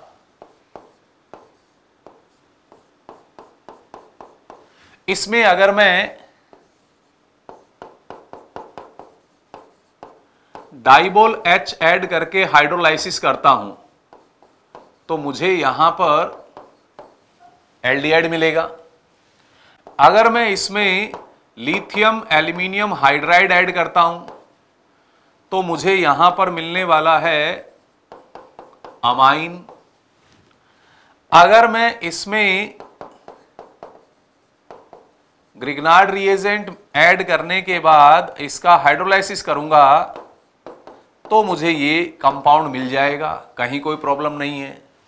और इसमें अगर मैं S N C L two H C L को लेकर के फिर इसका हाइड्रोलाइसिस करता हूँ तो ये एल्डिहाइड बनाएगा। आपको क्या बनाना है? कीटोन बनाना है बेटा। तो कीटोन बनाने के लिए आप देखें कौन सा यूज़ हो रहा है। थर्ड आंसर आ जाएगा। फ़र्स्ट से एल्डिहाइड बनने वाला है, सेकंड से प्राइमरी अमाइन बनेगा, थर्ड से जो आपको कीटोन चाहिए, वो कीटोन बन जाएगा और फोर्थ से भी आपको क्या मिलेगा? एल्डिहाइड मिल जाएगा। बात समझ में आ गई बेटा? नेक्स्ट है ट्वेंटी फाइव नंबर क्वेश्चन इसमें सिंपल सा एक थर्मोडायनेमिक्स का बड़ा ही सिंपल आसान क्वेश्चन और थर्मोडायनेमिक्स में इन जनरल आप देखो क्वेश्चन ऑब्ज़र्व करो तो डेल्टा जी पे काफ़ी चर्चा कर रही है तो इसी टाइप का क्वेश्चन आपके सामने रखा है, बहुत आसान. ये बोला गया है कि कौन से मिनिमम टेम्परेचर पर रिएक्शन स्पॉन्टेनियस हो जाएगी। तो आप सबको होता है कि जब रिएक्शन स्पॉन्टेनियस करवानी होती है डेल्टा जी अपने को नेगेटिव करना होता है, और डेल्टा जी बेसिकली होता है? कि delta G is goes to delta H minus T delta S okay dear पहले मैं ये चेक कर लेता हूँ कहाँ डेल्टा जी ज़ीरो हो रहा है। जहाँ ज़ीरो हो रहा है, उससे थोड़ा सा टेम्परेचर जैसे मिनिमम टेम्परेचर हो, उससे हल्का सा भी ज़्यादा हुआ तो वहाँ पर अपना रिएक्शन क्या हो जाएगा? स्पॉन्टेनियस हो जाएगा। तो मैं ज़ीरो वाला चेक कर लिया यहाँ पर ज़ीरो पुट करता हूँ। डेल्टा एच कितना देर का भाई जी? डेल्टा एस देर का 200 माइनस टेम्परेचर अपन कैलकुलेट करना चाहते हैं और टी कितना आ जाएगा? टेम्परेचर कैलकुलेट करें ये 40 आ जाएगा क्योंकि दोनों जूल्स में किलो जूल कुछ नहीं है। तो टी की वैल्यू कितनी आ जाएगी? 200 अपॉन 40 तो कितना आ जाएगा? 5 केल्विन मतलब मिनिमम वो 5 केल्विन जिसके अभाव होते ही आप क्या कर सकते हो? प्रोसेस को स्पॉन्टेनियस कर सकते हो तो इसका मतलब इसका आंसर आ जाएगा थर्ड तो 25 का करेक्ट आंसर है थर्ड बिल्कुल बेसिक चीज़ लगे अपन ने डेल्टा जी के लिए काम किया है और डेल्टा जी नेगेटिव के लिए अपन ने काम किया ओके डियर नेक्स्ट है ट्वेंटी सिक्स नंबर जिसमें बोला गया है कि एक अभिक्रिया जिसमें केवल द्रव और ठोस अवस्थाएँ हो तो निम्न कौन सा सत्य है? ये बहुत प्यारा क्वेश्चन एनसीईआरटी एक लाइन है, बड़ी अच्छे से डिस्कस की हुई है. एनसीईआरटी में एक बहुत अच्छे तरीके से enthalpy physical variable physical quantity बोल सकते हो, उसको बहुत अच्छे से एक्सप्लेन किया है। एक और इंटरनल एनर्जी जिसको अच्छे से एक्सप्लेन किया गया है। लेकिन वहाँ पर ये चर्चा ज़रूर की एनसीईआरटी ने कि यार ये दोनों एंथेल्पी जो कहीं ना कहीं सिस्टम की जो स्टोर्ड एनर्जी है, ये स्टोर्ड हीट है, उसको रिप्रेजेंट कर रहा है। लेकिन ये बोला गया कि इनका जो सिग्निफिकेंस है डेल्टा एच का, वो तभी अपन यूज़ लेंगे जब कोई लिक्विड या सॉलिड ना हो, तब कोई काम करें गैस हो तो इसका कोई सिग्निफिकेंस है। बेसिकली जब कोई गैस में प्रेजेंट होता है तो सिस्टम जो है, वो वर्क इन्वॉल्व करता है उस सिचुएशन में। आपको पता हो तो अपन जो एच लिखा करते हैं। H is goes to U plus PV लिखा करते हैं। तो ये पीवी वर्क डन तब आता है जब सिस्टम में ये मैकेनिकल वर्क डन बोलते हैं। पीवी वर्क डन ये तब आता है जब सिस्टम के पिस्टन में कुछ मूवमेंट होता हो। और ये तभी पिस्टन में मूवमेंट का पॉसिबिलिटी है जब कहीं वॉल्यूम में चेंजेस आए। वॉल्यूम में चेंजेस मतलब या तो गैस बन रही हो, या तो गैस बनी हुई वो लिक्विफाई या सोलिडिफाई हो रही हो, उस सिचुएशन में डेल्टा एनजी जो है नेगेटिव तो कंप्रेस हो जाएगा मामला। तो इस तरह से मैं बोल सकता हूँ कि जहाँ पीवी इन्वॉल्व हो रहा है, जहाँ प्रेशर वॉल्यूम चेंज हो रहा है पिस्टन का मूवमेंट हो रहा है, तभी होता है। तो बेसिकली अपन यदि सॉलिड है या लिक्विड इसके अंदर अपन बोलते हैं वॉल्यूम कुछ ज़्यादा चेंज नहीं होता। इस सिचुएशन डेल्टा एच और डेल्टा ई e जो होता है या डेल्टा यू जो अप्रोक्स सेम रहते हैं, उसमें कोई दिक्कत नहीं आता है।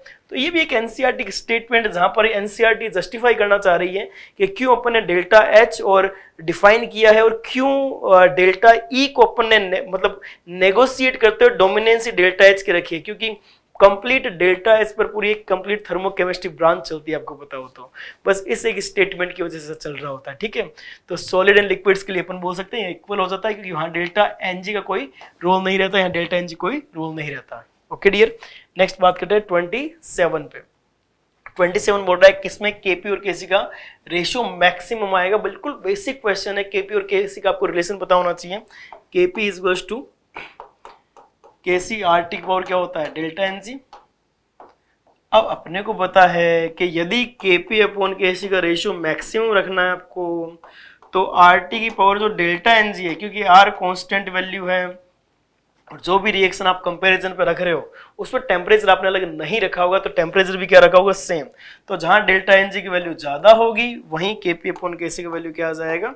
ज़्यादा. तो अपन करते हैं जस्टिफाई कहाँ डेल्टा एन जी की वैल्यू जैसे इसमें डेल्टा एन जी की value minus one by two है तो ये खोटा हो जाएगा। इसमें डेल्टा एन ज़ीरो है, खोटा हो जाएगा कम मतलब खोटा मतलब नेगेटिव में कम है वैल्यू अपन को ज़्यादा सर्च करना है ज़ीरो ही हो गया।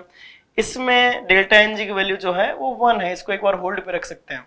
और इसमें डेल्टा एन जी देखना पड़ेगा। दो इधर रहा, चार छः आ गया इस साइड तो और दो इधर रहा और सात, नौ इधर। तो इसमें हो जाएगा, प्रोडक्ट माइनस माइनस का तीन आ जाएगा। तो हाईएस्ट वैल्यू तो वन ही बन रही है ना यहाँ पर।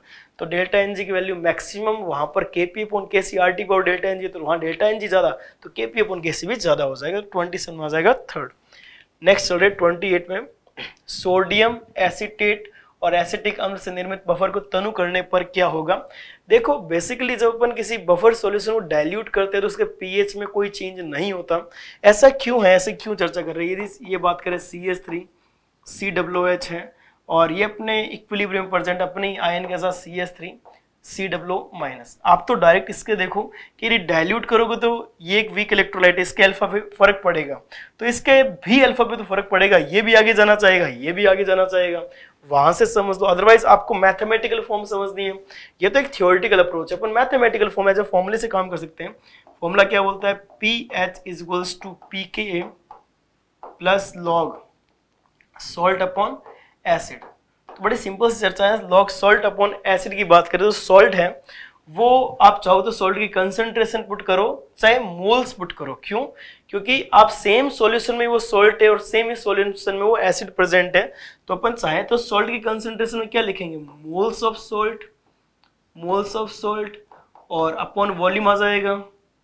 सॉरी अपॉन वॉल्यूम आ जाएगा और डिवाइड बाई एसिड की कंसेंट्रेशन क्या आ जाएगा? Moles of acid moles of acid upon volume of solution volume of solution से वॉल्यूम ऑफ़ सॉल्यूशन कैंसिल हो जाना है। ये लॉग के अंदर वाली टर्म है। अब आप देखोगे केवल मोल्स पे डिपेंडेंसी, वॉल्यूम वैसे कैंसिल हो गया है। हाँ यदि आप इसको इनफाइनाइट डाइल्यूट कर दे तो शायद बफर खत्म हो जाएगा, क्योंकि बफर में वीक इलेक्ट्रोलाइट चाहिए और इनफाइनाइट डाइल्यूशन पे एक वीक इलेक्ट्रोलाइट बिहेव करता है स्ट्रॉन्ग की तरह, एक दुर्बल विद्युत अपघटे प्रबल की तरह व्यवहार करने लग जाता है। तो अनंत अनुता पर अपन बोल सकते हैं बफर खत्म भी हो सकता है। क्लियर चलो नेक्स्ट चलते हैं ट्वेंटी पे। एजीसीएल की सोलिबिलिटी किसमें आप देखोगे, काफ़ी टाइम से क्वेश्चन सोलिबिलिटी आता है, चाहे न्यूमेरिकल है चाहे थ्योरेटिकल है जैसे पिछली बार न्यूमेरिकल टाइप का था, इस बार हम थ्योरेटिकल रख रहे हैं आपके सामने। ताकि ये भी एक बेसिक चर्चा आपको पता होनी चाहिए। पूछा गया कि एजीसीएल की सोलिबिलिटी किसमें ज़्यादा होगी। हालाँकि ज़्यादा देखना है तो आपको ये चेक करना पड़ेगा, जिसमें कॉमन आयन का सबसे कम लग रहा हो। तो मैं चेक करता हूँ इसमें कॉमन आयन जैसे इसमें सीएल माइनस कॉमन आयन लगाएगा। इसमें सी एल माइनस कॉमन आइन लगाएगा, इसमें ए जी प्लस कॉमन आइन लगाएगा, लेकिन जो अनआयनाइज वाटर है एच टू एक तरह से प्योर वाटर हो गया, उसके अंदर कोई कॉमन आइन लगाने वाला नहीं है तो इस सिचुएशन में सब ज़्यादा जो सॉलिबिलिटी है, वो सब ज़्यादा किसमें आ जाएगी फोर्थ के अंदर आ जाएगी, क्योंकि उसमें केवल पानी है, उसमें कोई कॉमन आइन लगा ही नहीं रहा speak electrolyte okay dear next thirty बोला जा रहा है कि कम, ये मोल कंसेप्ट का क्वेश्चन है कि जो इंपेरिकल फॉर्मूला है, वो कितना है? सी एच टू और बोला जा रहा है कि इसका मॉलिकुलर मास इतना है तो इसका कंपाउंड का फॉर्मूला क्या होगा? तो अपने पता है कि मॉलिकुलर जो मास होता है, वो एन टाइम्स होता है इंपेरिकल मास का। अब मॉलिकुलर मास 42 दे रखा है एन की वैल्यू अपन चेक करना चाह रहे हैं, वो किससे मल्टीप्लाई होगा ओवरऑल और इंपेरिकल मास कितना दे रखा है? दे रखा क्या? सी एच टू दे रखा है ना? तो कितना हो जाएगा? 12 प्लस टू फोर्टीन तो एन की वैल्यू कितनी आ जाएगी? थ्री आ जाएगी तो तीन आ जाएगा एन का मान। तो यहाँ पुट कर देते हैं तो सी थ्री एस सिक्स आ जाएगा सेक फ़र्स्ट आंसर आ जाएगा थर्टी का पर, परफेक्ट आंसर आ जाएगा फ़र्स्ट ओके डियर चलो नेक्स्ट चलते हैं थर्टी फ़र्स्ट में थर्टी फ़र्स्ट बिल्कुल बेसिक रेडोक्स का ऑक्सीडेशन स्टेट वेस्ट है। आप चेक करो रेडोक्स में या तो ऑक्सीडाइजिंग रिड्यूसिंग एजेंट के बारे में चर्चा हुई है पिछले सालों में या फिर ज़्यादा से ज़्यादा ऑक्सीडेशन स्टेट के बारे में चर्चा हुई है। तो ये वाला फिर से आपके सामने ऑक्सीडेशन स्टेट का यदि मैं बात करूँ दो 19 में ऑक्सीडेशन स्टेट का था 22 में बात करूँ थोड़ा बहुत ऑक्सीडेशन ऑक्सीडाइजिंग रिड्यूसिंग एजेंट का था। हर साल थोड़ा बहुत चेंज हो रहा है, लेकिन इन्हीं के इर्द गिर्द चलता रहता है मामला। तो आपके सामने फिर से एक क्वेश्चन रख रहा हूँ मैं, कि इसमें स्टेट जो अलग अलग दे ऑक्सीडेशन स्टेट को कोपर जो है सी यू प्लस टू क्योंकि ओ माइनस टू है तो यहाँ पर कोपर प्लस टू आ जाएगा। एम एन प्लस फोर में होगा, क्योंकि इसमें एक्स वाले एवरेज ऑक्सीडेशन स्टेट में दो ऑक्सीजन है ना माइनस टू दो बार तो प्लस फोर आ जाएगा। इसमें प्लस थ्री कैसे? हाइड्रोजन प्लस वन और हम x मान लिया माइनस का माइनस का four is goes to zero तो x को सोल्व करेंगे, x कितना आ जाएगा प्लस वन और यहाँ पर अपने को पता है थेलियम जो प्लस वन में होता है, आप चेक कर लो बोले ठीक है तो मैचिंग कहाँ बैठेगी? प्लस टू ये रहा, फिर प्लस फोर ये रहा, फिर प्लस थ्री ये रहा, फिर प्लस वन ये रहा। तो ए के अंदर क्या आ गया? आर ए के अंदर आर कहीं बैठ रहा है? दो जगह बैठ रहा है। बी के अंदर क्या आ गया? पी बी के अंदर, पी कहीं नहीं बैठ रहा, फ़र्स्ट के अंदर ही बैठ रहा है। तो अपना करेक्ट थर्टी वन का आंसर आ जाता है फ़र्स्ट ओके डियर चलो नेक्स्ट है थर्टी टू बोला है कि बोहर के फिफ्थ सेल में तो उसका कोणीय संवेग एंगुलर मोमेंटम क्या होगा? फिफ्थ के लिए तो अपने पता है एंगुलर मोमेंटम क्या होता है। M V R is goes to N H upon two pi देखो, आपके सामने बहुत आसान आसान क्वेश्चन रखे हैं। कोई भयंकर पजल नहीं किया है। यदि इनऑर्गेनिक की बात करूँ तो आपके सामने एनसीआरटी e की लाइन से यदि फ़िज़िकल की बात करूँ तो आपको कहीं भी किसी भी तरह से कैलकुलेशन को लेकर पजल नहीं किया। क्योंकि आप देखो कि यार क्वेश्चंस में कभी भी आपको कैलकुलेशन वो नहीं जताना चाहता कि आपको कितनी अच्छे आ रही है। वो जताना चाहता है कि आप फ़िज़िकल को लेके कितना अंडरस्टैंडिंग है। आप कंसेप्ट को लेके कितने अंडरस्टैंडिंग रखते हो। तो वो आपके सामने उसी तरह की चीज़ें रखी गई है। ओके डियर तो M V R is to N H upon two pi N is to fifth रख दो। फिफ्थ सेल के लिए तो five H upon two pi आ जाएगा। तो यहाँ पर two point five H upon क्या आ जाएगा? पाई तो two point five H upon pi next है thirty two sorry thirty three thirty three A के स्टेटमेंट वन है। ये बोल रहा है कि ए का अधिक मान होने पर गैस द्रवीकृत अधिक होती है बिल्कुल सही स्टेटमेंट अपने जब van der Waals gas equation में वेरिएबल जो रखते हैं या कांस्टेंट जो वंडरवॉल कांस्टेंट ए और बी होता है ए रिप्रेजेंट करता है कितना आसानी से या अट्रैक्शन फोर्स को रिप्रेजेंट करता है, इसलिए कुछ लोग इसको अट्रैक्शन कांस्टेंट भी लिखवाते हैं वंडरवॉल कांस्टेंट में। जबकि बी जो है कहीं ना कहीं साइज़ ऑफ़ पार्टिकल्स को रिप्रेजेंट करता है। तो बोला गया है कि आसानी से लिक्विफाई होगी, क्योंकि ए ज़्यादा तो अट्रैक्शन भी ज़्यादा। ए अणु के मध्य उपस्थित अट्रैक्शन को ही रिप्रेजेंट करता है तो ये बात भी बिल्कुल सही है। इसी से हालाँकि एक्सप्लेन भी कर रहा है। एक्सप्लेन करने का ऑप्शन पूछा जाता तो तो दोनों ही स्टेटमेंट क्या है? सही है। ए अणुओं के मध्य जो है, आकर्षण को, प्रबलता के मापन को समझाता है। बिल्कुल सही बात है। नेक्स्ट चलते हैं थर्टी फोर पे। बोला कि एम आयन जो है सीसीपी फॉर्म करते हैं। ठीक है एम आयन सीसीपी फॉर्म करते हैं तो चार आ जाएँगे। जबकि ऑक्साइड जो है ऑक्साइड आयन जो ओ माइनस टू एक तरह से, वो हाफ़ अष्ट फलकीय अष्ट फलकीय जितने एटम्स होते होते ओ एच भी आते हैं उसके हाफ़ में, ठीक है भाई जी? और क्या बोला है साथ में? ऑक्सीजन और है, कहाँ है? हाफ़ ऑफ़ टेट्राहाइड्रल तो टेट्राहाइड्रल डबल हो जाते हैं जितने एटम उसका भी हाफ़ कर दिया, ठीक है भाई जी? एम हो गया फोर ओ कितना हो जाएगा? ये आ जाएगा टू और ये आ जाएगा फोर सिक्स आ जाएगा. एम फोर ओ सिक्स आ जाना है. तो एम टू ओ थ्री आ जाएगा. तो आंसर परफेक्ट बैठेगा अपना फोर तो बिल्कुल सिंपल सॉलिड स्टेट का क्वेश्चन बड़ा ही बेसिक क्वेश्चन ओके डियर चलो। नेक्स्ट थर्टी फाइव निम्न में से कौन सा? अनादर्स uh, विलियन है नॉन आइडियल सॉल्यूशन तो बड़ी सिंपल बेसिक बात है। कुछ एग्जांपल्स जो एनसीईआरटी e लिखे हैं वो एटलीस्ट अपने को याद होने चाहिए। क्योंकि uh, आपको देखो कि आइडियल नॉन आइडियल चाहे वो वांट ऑफ़ फैक्टर पे क्वेश्चन आता है या फिर या फिर आइडियल नॉन आइडियल दो एक जनरल आप पिछले दस सालों के पेपर में देख लो। या तो और पिछले पाँच सालों में आइडियल नॉन आइडियल पर ज़्यादा चर्चा रही है मेरा ही मानना है आप चाहो तो पी पी को चेक करो। तो इसमें देख लेते हैं। बेंजीन टोलुइन जो है, वो आइडियल सॉल्यूशन फॉर्म करते हैं। मेरे को कैसे याद रहता है? जो एक जैसे दिखते हैं ना, वो आइडियल में जाते हैं। जो एक जैसे जैसे benzene toluene chlorobenzene bromobenzene ethanol methanol ethanol के साथ या एथेन के साथ क्लोरीन एथेन के साथ ब्रोमीन लगा दिया जाए। एक जैसे जो दिखते हैं और tetra S I C L four C C L four carbon tetra chloride और सिलिकन टेट्रा क्लोराइड एक जैसे जो मॉलिक्यूल दिखते हैं, वो आइडियल के अंदर जाते हैं। एन हेक्सेन हेप्टेन एक जैसे हो गए थे आइडियल ये भी आइडियल अभी देखो एथाइल ब्रोमाइड एथाइल आइडाइड एक जैसे आइडियल के अंदर, ये तीनों आइडियल के अंदर चले जाएँगे। फिर क्या कार्बन टेट्राक्लोराइड एंड क्लोरोफॉर्म तो कार्बन टेट्राक्लोराइड और क्लोरोफॉर्म किसके अंदर आ जाते हैं? पॉजिटिव डेविएशन के अंदर। तो नॉन आइडियल आ जाएगा। तो 35 में क्या हो जाएगा? फोर्थ ओके डियर चलो। नेक्स्ट अपन बात करते हैं सेगमेंट बी जिसमें से आपको कुछ सिलेक्टेड क्वेश्चन करने हैं। चलो तो 36 जो इनऑर्गेनिक का सिंपल सा पी ब्लॉक का स्ट्रक्चर बेस्ड क्वेश्चन है, आप चेक करो ये स्ट्रक्चर बेस्ड क्वेश्चन आपके सामने इनऑर्गेनिक का हर वो क्वेश्चन रखा गया है, जो भाई साहब पूछा जा रहा है पूछा गया है, ठीक है? उसी टाइप की वेरायटी आपके सामने आ रही है। जैसे बोला कि इसमें ऑक्सो एसिड दे रखे दो पी एच बोलो ना इनडायरेक्टली स्ट्रक्चर पूछा जा रहा है। H four P two O five इसका नाम होता है पायरोफॉस्फ्यूरस एसिड कैसे बनता है? S three P O three होता है। उसके दो मॉलिक्यूल से एक एच टू रिमूव कर दो। एक एच टू उसके दो एक एच टू सॉरी ना, एक एच टू रिमूव करना है। तो क्या बन जाएगा? H four P two O five कैसा दिखता है? S three P O three कैसा दिखता है? तो S three P O three में डबल बॉन्ड हो तो सब में होता है ध्यान रखना। और इसमें जितना इसका बेसिसिटी है एसिड का बेसिसिटी उतने उसमें ओ एच है तो इसमें दो ओ एच होंगे और एक एच होगा ओके डियर तो दो एच छोटा सा एक चेंज कर रहा हूँ मैं इसमें।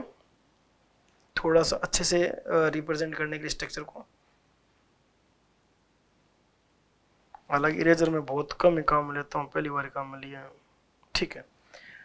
तो ये ओ OH आ जाएगा, ये ओ OH आ जाएगा और यहाँ एच रखना चाहता हूँ।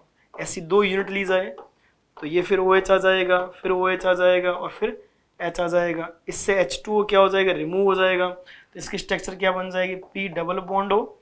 ये पी एच वैसा ही रहा। फिर ओ फिर पी डबल बॉन्ड हो। अब इस पर जो एच था वैसे ही रहा। ये ओ एच वैसे, एक O H H two removal में चला गया है। और ये एच वैसे ही रहा। तो इस मॉलिक्यूल में पी एच बॉन्ड तो दो दिख रहे हैं आपको। ठीक है, ये इसमें हो जाएँगे। एच फोर पी टू ये पायरोफॉस्फोरिक एसिड है। Pyrophosphoric S three P O three की बजाय S three P O four लेते आ जाता। इसका मतलब यहाँ पे भी ओ एच आ जाता, यहाँ पे भी ओ एच आ जाता। तो मैं डायरेक्ट स्ट्रक्चर बना रहा हूँ P H four P two O six का डायरेक्ट स्ट्रक्चर यहाँ एच एच की जगह ओ एच आ जाएगा। तो पी डबल बॉन्ड हो, यहाँ पे भी ओ एच आ जाएगा, यहाँ पे भी ओ एच आ जाएगा। ये पानी के रिमूवल में पी ओ आ जाएगा। ये ओ एच इसमें पी एच बॉन्ड एक्चुअली है ही नहीं। तो इसमें इसकी वजह से गड़बड़ हो गई। ठीक है डियर अब नेक्स्ट है S three P O three तो S three P O three में दो पी एच नहीं, एक ही पी एच है। ये गड़बड़ हो गया।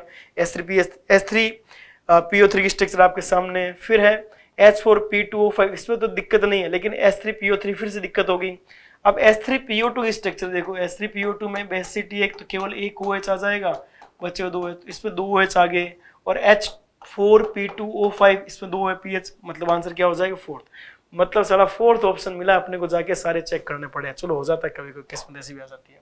चलो थर्टी सिक्स के बाद थर्टी सिक्स में फोर्थ थर्टी सेवन में गर्म और सांद्र सोडियम हाइड्रोक्साइड, बड़ा सिंपल सा यार सी एल टू का डिस्प्रपोर्शनेशन है सी एल टू का विस्मानुपातन है दो तरह से होता है, एक तो कोल्ड एंड डाइल्यूट के अंदर होता है कि हॉट एंड कंसंट्रेटेड के अंदर होता है एनसीआरटी सबसे प्यारी इक्वेशन लगती है मेरे को ये, सबसे प्यारी रिएक्शन लगती है। तो सी एल टू जो है क्लोराइड और मतलब क्लोराइड और क्लोरेट के अंदर क्या होता है डिसप्रपोर्शनेट होता है ज़ीरो से माइनस वन में जाता है और प्लस फाइव में जाता है।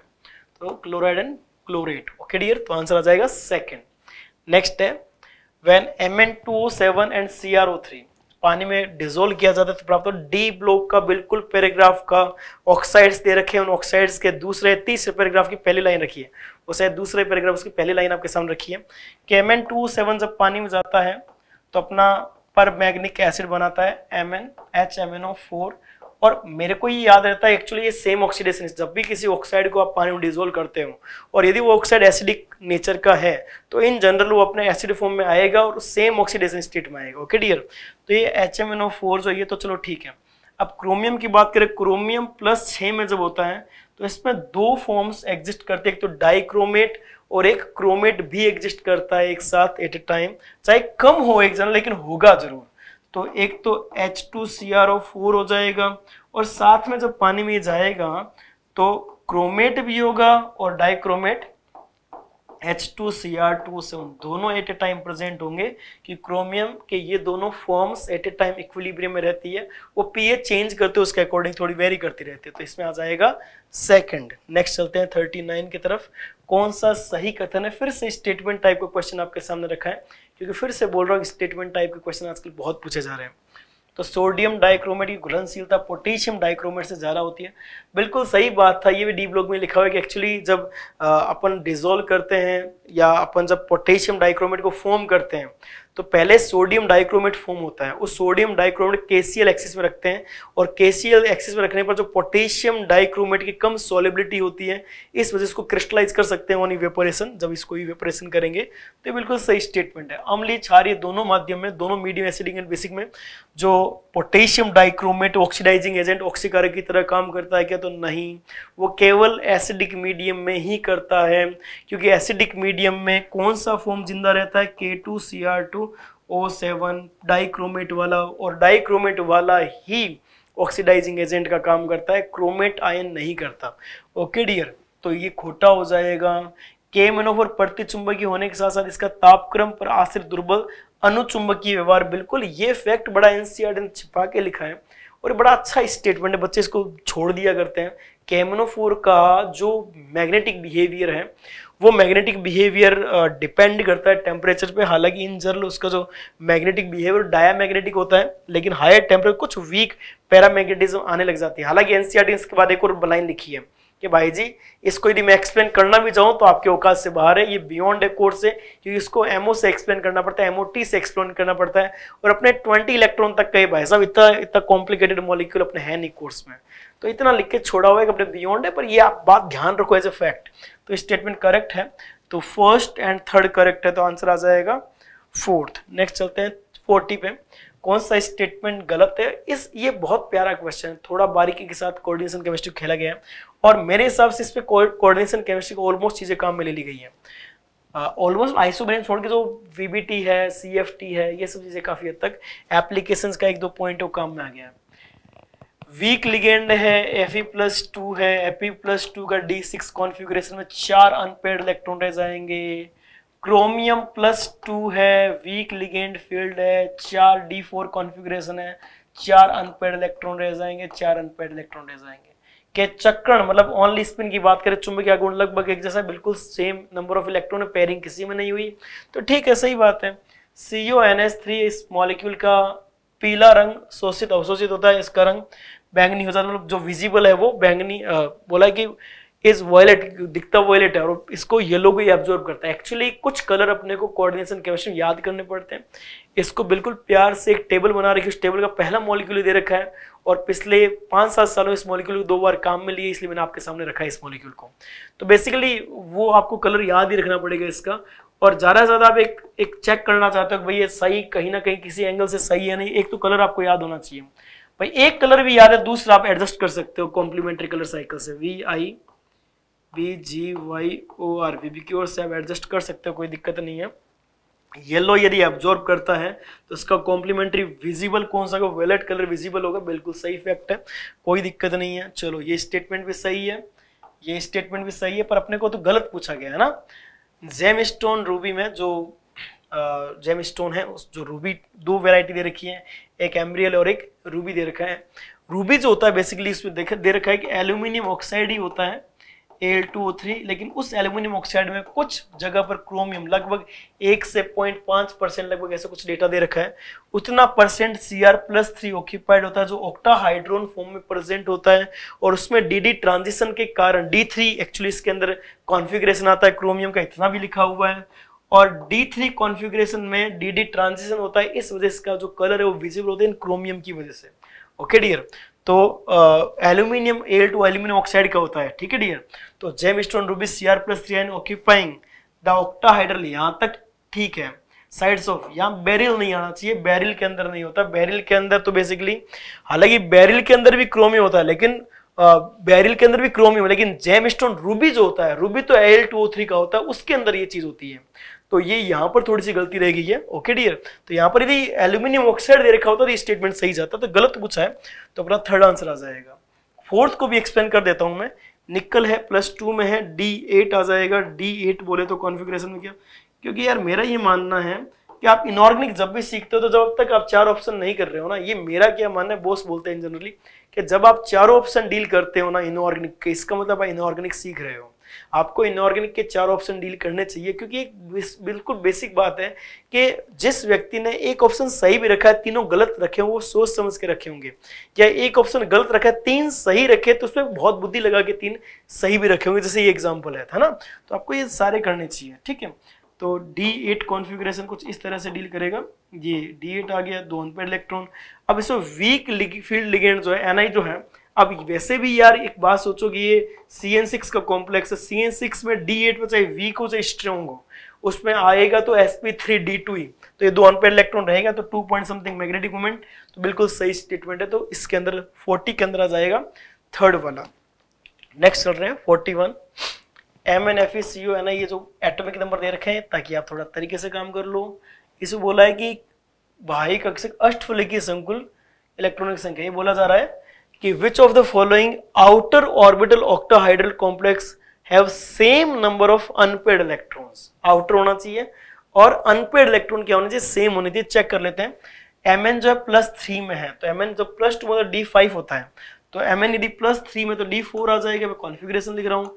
और एम एन प्लस थ्री में है और आउटर की बात कर रहे हैं तो चारों चार अनपेड इलेक्ट्रॉन का काम करेंगे। एफ़ ई जो है, वो भी प्लस थ्री में F E plus two D six रखता है तो F E plus three D five रखेगा तो पाँच अनपेड इलेक्ट्रॉन आ जाएँगे। कोबल्ट है प्लस कोबल्ट प्लस टू में डी सेवन रखता है तो यहाँ डी सिक्स नहीं आ जाएगा प्लस थ्री में। डी सिक्स में फिर से चार अनपेड इलेक्ट्रॉन एक ही पेयरिंग नहीं हो जाएगी क्या? N I plus two D eight अभी थोड़ी देर पहले लिखा था डी एट में। अपने को बताया दो ही अनपेड इलेक्ट्रॉन आते हैं, अभी थोड़ी देर पहले लिखा दो अनपेड इलेक्ट्रॉन तो इन दोनों में सेम नहीं हो गया क्या? तो फ़र्स्ट और थर्ड जो है उसमें सेम अनपेड इलेक्ट्रॉन और किसी में सेम मैचिंग नहीं आ रही तो आंसर क्या आ जाएगा? थर्ड तो फोर्टी वन का भी आंसर क्या चला गया? थर्ड चलो। अब देखें क्वेश्चन नंबर फोर्टी टू को देखते हैं। यहाँ पर मैंने क्या, यहाँ लिखा है टॉलेंस रिएजेंट लिखा है। टॉलन रिएजेंट क्या करेगा? एल्डिहाइड को कन्वर्ट करेगा किसमें? कार्बोक्सिलिक एसिड में। तो सबसे पहले जो आपको एक्स मिलेगा, ये एक्स कुछ ऐसा होगा। ये बेटा एक्स आपके पास रहेगा। ठीक है? तो देखो, इसमें से एक्स कोई आ रहा है क्या यहाँ पर सी डब्ल्यू एच के साथ सी डबल बॉन्ड ओ होना चाहिए। तो ये भी आंसर नहीं आएगा, ये भी आंसर नहीं आएगा। फ़र्स्ट और थर्ड तो रिजेक्ट हो गए।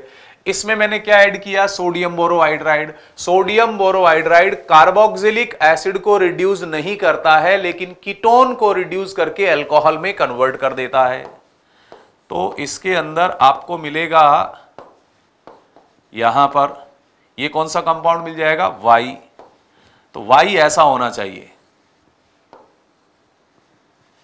अब देखो इनमें से ऐसी स्ट्रक्चर वाई की कहाँ है? ये रही। ये नहीं होगा। तो आंसर क्या आ गया बेटा? सेकंड बात समझ में आ गई। टॉलेंस रिएजेंट एल्डिहाइड को COOH में कन्वर्ट करेगा। कीटोन में कोई चेंज नहीं करेगा। ये रहा एक्स लेकिन ये एक्स यहाँ पर मैच नहीं कर रहा है। फिर जब हम इसमें नेक्स्ट सोडियम बोरोहाइड्राइड ऐड करेंगे सोडियम बोरोहाइड्राइड कार्बोक्सिलिक एसिड को चेंज नहीं करेगा कीटोन को किसमें कन्वर्ट करेगा? एल्कोहल में। आंसर क्या आ जाएगा आपके पास? सेकंड आंसर आ जाएगा। ठीक है? एक स्ट्रक्चर दे रखी है पैराटोलोइन सल्फोनाइल क्लोराइड ये स्ट्रक्चर हम किसकी जगह यूज़ कर सकते हैं? हिंसबर्ग रिएजेंट की जगह यूज़ कर सकते हैं। तो जो आप हिंसबर्ग रिएजेंट का यूज़ करते हैं, वो इसका यूज़ कर सकते हैं।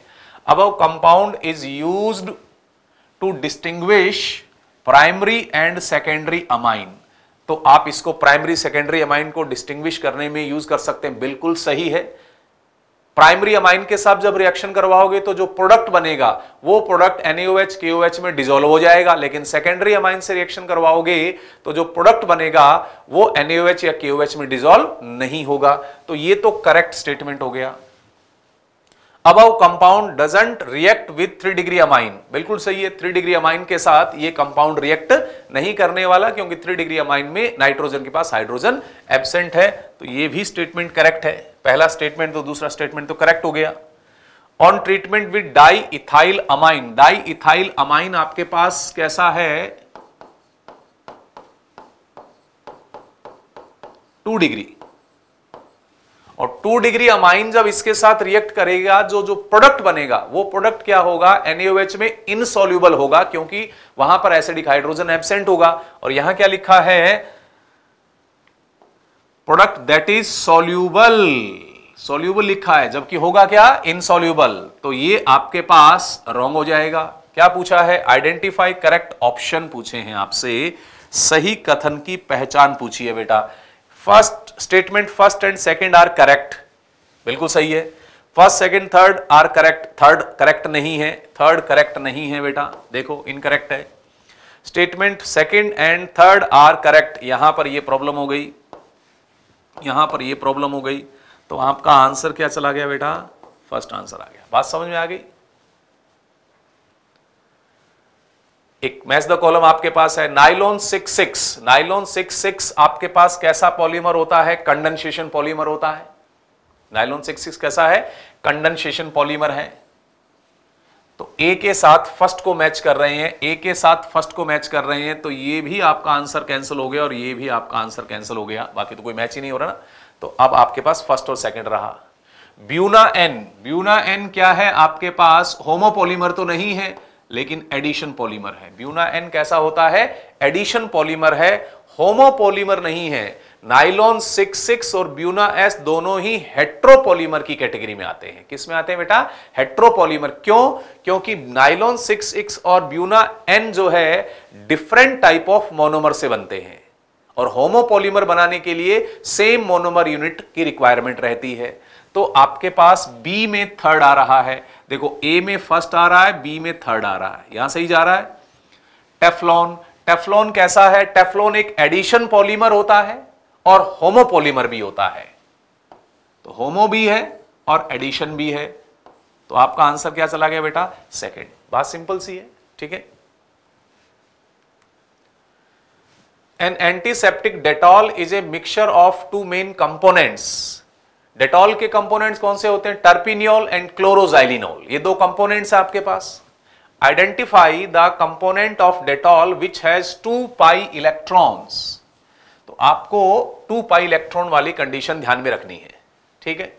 तो ये इसका कंपोनेंट नहीं होता और ये भी इसका कंपोनेंट नहीं होता है। ये दो कंपोनेंट होते हैं। क्लोरोजाइलिनॉल जो है, इसमें तो बेंजीन रिंग अवेलेबल होती है।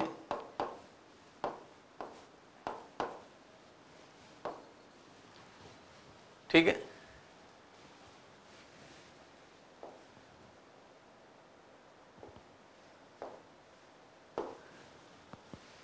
आपको टू पाई इलेक्ट्रॉन लेने हैं, ये रिजेक्ट हो गया, ये रिजेक्ट हो गया। तो क्लोरोजाइलिनॉल जो है, इसमें बेंजीन रिंग प्रेजेंट होती है। Presence of benzene ring. इसका मतलब सिक्स पाई इलेक्ट्रॉन्स होंगे, जबकि यहाँ क्वेश्चन में कैसे हैं? टू पाई इलेक्ट्रॉन्स तो ये भी आंसर नहीं होगा। टर्पिनियोल में कैसी रिंग होती है बेटा? साइक्लो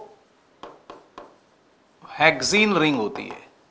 टर्पिनियोल में कैसा होता है? साइक्लो साइक्लोहेक्सीन रिंग अवेलेबल होती है।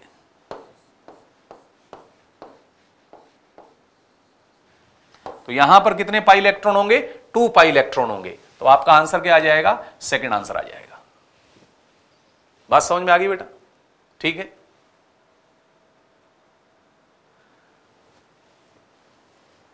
तो मैं उम्मीद करता हूँ कि आपके ऑर्गेनिक केमिस्ट्री के जो क्वेश्चंस हैं, वो बिल्कुल सही गए होंगे। फिर भी अगर कहीं डाउट रह गया होगा तो ये वीडियो सोल्यूशन देख करके आपका डाउट क्लियर हो गया होगा। थैंक यू जय सी एल सी नेक्स्ट चर्चा करते हैं फोर्टी सिक्स के लिए बड़ा सिंपल सा स्टेटमेंट बेस्ड क्वेश्चन फिर से आपके सामने रखा। आप ज़्यादातर देखो स्टेटमेंट बेस्ड रखें, क्योंकि इस तरह के क्वेश्चन आजकल एग्ज़ाम में आ रहे हैं। पहला स्टेटमेंट है, जल में NaCl जब मिलाया जाता है तो हिमांक में अवनमन होता है। बिल्कुल सही बात है, जैसे ही आप कोई नॉन वोलेटाइल सब्सटेंस मिलाओगे तो उसका फ्रीजिंग पॉइंट डिप्रेस होगा, कम में जाएगा नेगेटिव हो जाएगा, ठीक है? और फिर बोला गया कि इसका कारण क्या है? तो इसमें वाष्प दाब में वेपर प्रेशर कम होता है तो बिल्कुल अपन इसको ग्राफ से एक्सप्लेन किया करते हैं। इसका अपन वेपर प्रेशर का टेम्परेचर के साथ ग्राफ बनाया करते हैं। और बोलते हैं कि जो सॉल्वेंट है प्योर सॉल्वेंट इसका ग्राफ ये रहता है। और जैसे इसके अंदर कुछ नॉन वोलेटाइल मिला, इसका वेपर प्रेशर डिक्रीज हो जाता है और इसका जो फ्रीजिंग पॉइंट आया करता है, वो कुछ नया फ्रीजिंग पॉइंट ये आ जाता है, जबकि पहले वाला फ्रीजिंग पॉइंट ये हुआ करता था।